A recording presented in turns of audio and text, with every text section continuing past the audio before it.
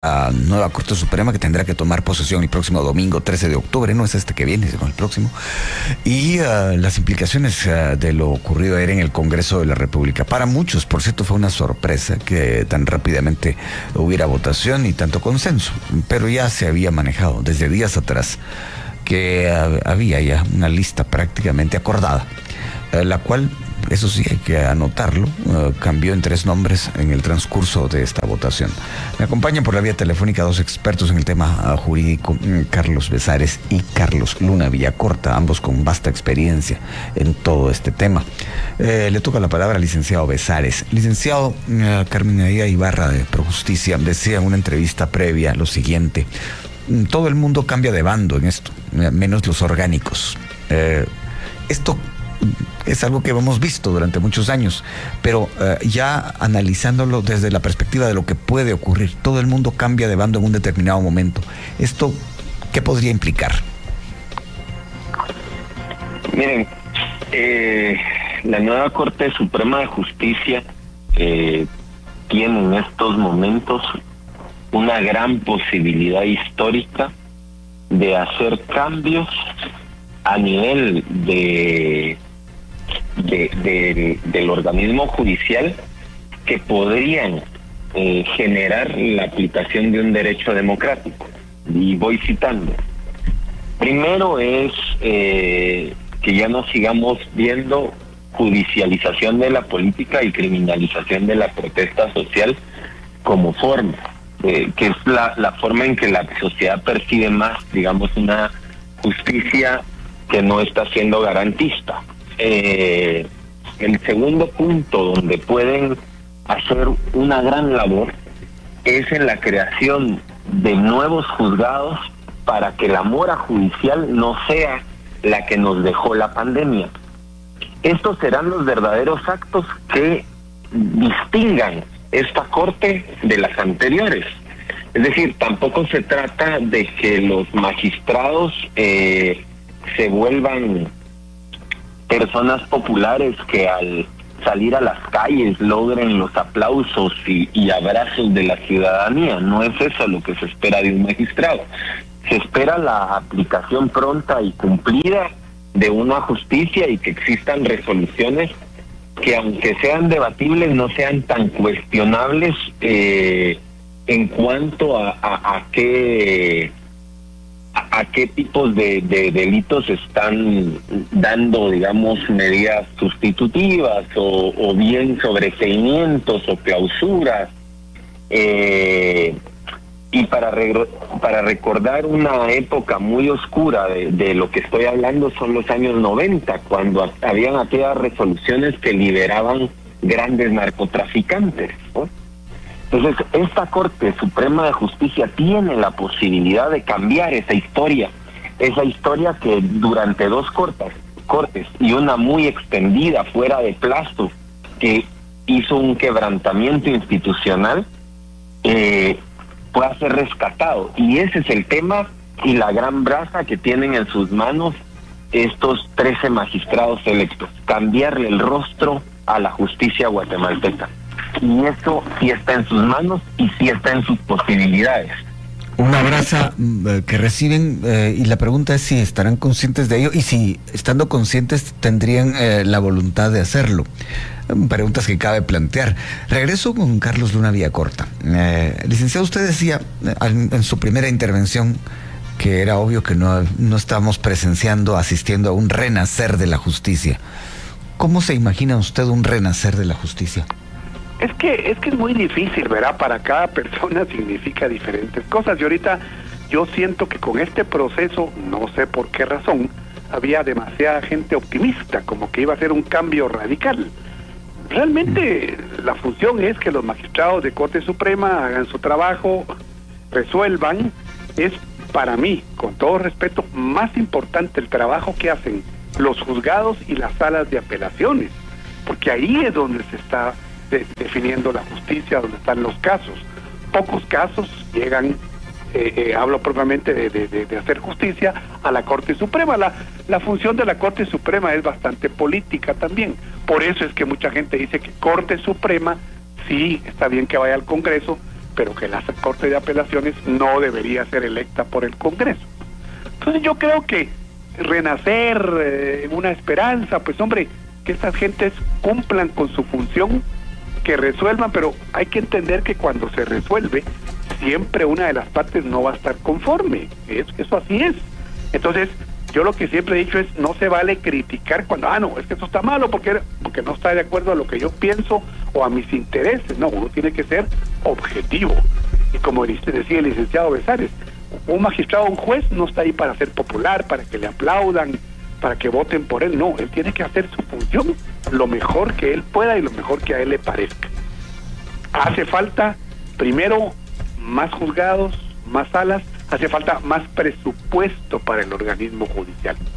Ojalá que el gobierno lo entienda, ojalá que así lo vean, porque ya hemos hablado, Luis Felipe, que el deporte, que salvo excepciones como nuestras medallas actuales de la, de la Olimpiada pasada, el deporte en Guatemala recibe más presupuesto que el organismo judicial. Totalmente ridículo. Bueno, eh, sí, es parte del tema, evidentemente, y cabe eh, más adelante preguntarlo. Regreso con el licenciado Carlos Besares y ahora voy a citar eh, una publicación en la red social X eh, de Ana María Méndez Dardón, directora de WOLA para Centroamérica. WOLA es la oficina de Washington, en Washington para asuntos latinoamericanos. Eh, lo voy a leer textualmente. Dice, ganaron el pulso las mafias. El control de las cortes será clave para garantizar impunidad y seguir criminalizando a Semilla y a cualquier voz crítica del pacto de corruptos. Y aquí viene la parte que quiero preguntarle. Un trago amargo para Bernardo Arevalo de León, el presidente, quien enfrenta nueve procesos judiciales. Esa última parte, ¿cómo la analiza licenciado Besares? Bueno, mire, eh, hay que resaltar que el día de ayer hubo consenso por varios magistrados. Es decir, desde la lectura política llegan con un gran apoyo político muchos de ellos, incluso del partido oficial.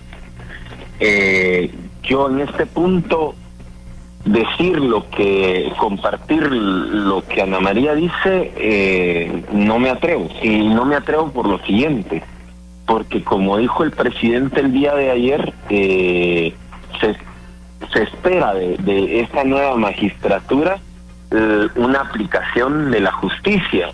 Y viendo el, el, apoyo consenso, pues yo esperaría que esta nueva corte llegue precisamente a cambiar esa historia oscura de las dos anteriores Cortes Supremas de Justicia. Y aquí vuelvo a hacer otra cita, en este caso para que eh, la comente y la analice el licenciado Luna Corta. Es del diputado Raúl Barrera de Semilla, dice, eh, y voy a leer textual. El diputado Samuel Pérez ha liderado una negociación larga y feroz para elegir una Corte Suprema de Justicia aceptable que detenga la persecución política y aquí voy a, la última parte de, este tuit, como se les conocía antes. El resultado no es óptimo y no podía serlo, pero es distinto a lo que hay. ¿Qué dice de eso, licenciado Luna Corta?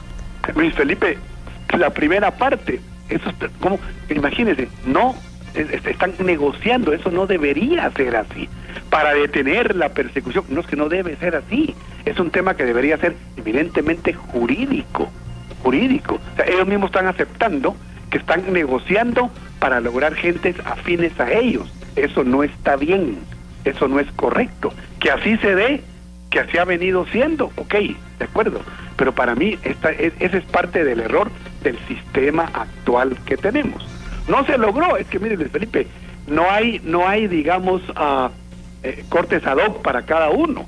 Que yo pongo a los 13, que yo quito, no, tenemos que entender que es un conjunto de personas que va a estar ahí tal vez conozco más a unos que a otros, pero al final se vuelve un tema totalmente subjetivo. Por ejemplo, tampoco está bien que tengan que hacer lobby los magistrados e ir a hablar con los diputados, porque si no, no los eligen. Me acuerdo que el doctor Skinner Klee lo decía, es, que eso no va, ¿cómo va a ser posible? Que el que no venga, entonces no se le elige o pierde. Entonces, para mí eso está mal desde un principio. Paso ahora con el licenciado Besares. También hay voces que dicen, varias por cierto, que eh, se, eligió, se eligió una Corte Suprema balanceada. ¿Eso cómo hay que entenderlo en el contexto de lo que estamos viviendo en el país, licenciado? Que todos los sectores políticos se sienten representados de alguna manera. Y esto es lo que yo pondría en tela de juicio. O sea, a ver, e, el tema aquí es que el magistrado está obligado a la ingratitud, es decir, a olvidar quién lo eligió y, y aplicar la justicia tal cual es, ¿no? Comparto con el licenciado Luna en cuanto que la Corte Suprema es la que menor número de casos eh, va a conocer porque a casación llega ya un número muy muy reducido aún así eh, en materia de casación falta agilizar los procesos eh, dentro de la Corte Suprema de Justicia esos son los grandes retos que llevan estos magistrados agilizar los procesos y que la justicia se aplique de manera objetiva. Y es lo que se ha estado, digamos, en la última época en gran debate. O sea, llegan con una corte que ha sido eh, altamente cuestionada en los últimos, por lo menos, ocho años. Entonces, la tarea no es sencilla. Eh, y esto va a depender de, de, incluso revisar los modelos de gestión, de revisar cuántos juzgados existen. En el tema presupuestario, dado los apoyos políticos que llevan, pues se les debiese hacer más fácil lograr un mejor presupuesto. Ahora, comparto la visión del licenciado Luna Villacorta que en el proceso se pervierte, el proceso se pervierte en cuanto que los magistrados vienen a hacer lobby al Congreso, pero es por eso que se tiene que cambiar el sistema de elección de salas. Es decir, las salas tienen que ser de carrera. El, la Corte Suprema de Justicia sí es un órgano de alguna manera político y eh, le corresponde la administración del organismo judicial. Entonces, este sí efectivamente debiese ser un órgano electo por los poderes políticos del país. Y ayer lo que vimos fue precisamente el reflejo de consensos políticos alrededor de eh, ciertas personas. Ahora, que estas personas respondan a una línea política u otra, eso yo me cuidaría mucho de decirlo porque creo que eh, ninguno de ellos tiene un partido definido. Ahora que menciona eso, licenciado Besares, recuerdo un mensaje que recibí ayer de Ana Isabel Pereira, que ha estado aquí varias veces también como invitada. ella hacía ver la diferencia entre negociación y cabildeo. Cabildear, aquí me mandó la definición del diccionario, dice hacer gestiones con actividad y maña para ganar voluntades en un cuerpo colegiado uh, o corporación. Eh, todo esto viene así al caso por el hecho de que, bueno, eh, presentar un plan eh, es una cosa y, bueno, ir a tratar de quedar bien puede ser otra. Pero en todo caso, licenciado Luna Vía Corta, ¿qué puede hacer mejor o diferente la nueva Corte Suprema de Justicia para que se note realmente un cambio? Pues, por ejemplo, una, una cosa muy sencilla sería cumplir con los plazos establecidos en la ley. Y les va a tocar organizar las salas, porque cuando ya están electos los magistrados de sala es la Corte la que decide a dónde mandar a cada magistrado. Y ojalá que los magistrados de sala, la mayoría deberían repetir para tener estabilidad y son y hay muy buenos magistrados de sala, no digo todos, pero sí una gran mayoría. Porque ya se imaginan ustedes que todos fueran nuevos, se nos vuelve un problema que en lo que entienden que tienen que hacer se va un año. Y esa es una, se me había olvidado, Luis Felipe, una pequeña crítica que estaban haciendo hoy temprano, creo que así es, que a esta Corte Suprema no entró ningún abogado de la calle, llamémosle sino que todos venían del organismo judicial. Y normalmente se había mantenido una especie de balance, digamos, entre unos y otros, pero ahora no fue así. Bueno, eso me sirve para preguntarle al licenciado Besares qué opina. Ningún abogado de la calle, ¿eso cómo hay que eh, entenderlo y qué va a significar? Los sectores sociales del país han pedido históricamente que eh, sean magistrados de carrera judicial. Lo que está diciendo es que no llegan eh, personas fuera de, de, la carrera judicial a la, a la Corte Suprema de Justicia. Ahora, ahí hay un gran debate que todavía no, no ha encontrado suelo y es eh, que es mejor la gente de carrera o aquel que ya ha litigado. Yo siempre he pensado que la tarea de juez es de carácter especializado y sí se necesita conocimientos un tanto diferentes a los que hace un abogado litigante. Y me explico, un abogado litigante señala agravios, por ejemplo, pero un juez decide si el agravio tiene sentido o no tiene sentido en base a la lógica, eh, en base a las reglas de la psicología y de la experiencia, y esa experiencia solo se gana haciendo resoluciones y fallos eh, judiciales. Entonces, eh, yo estoy, eh, pues de alguna manera, eh, en un punto donde siempre he creído que el, el organismo judicial debiese ser una decisión de vida de los abogados de decir, bueno, yo voy a hacer carrera de juez, tal cual sucede en Italia, España, en Costa Rica, y solo a la judicatura se, se dediquen, porque eh, efectivamente, siendo abogado litigante, llegar a una judicatura genera conflictos de interés tarde o temprano, por los viejos clientes que pudo haber tenido el abogado. Pareciera que en Guatemala ese tema del conflicto de interés lo entienden muy pocos. Pero bueno.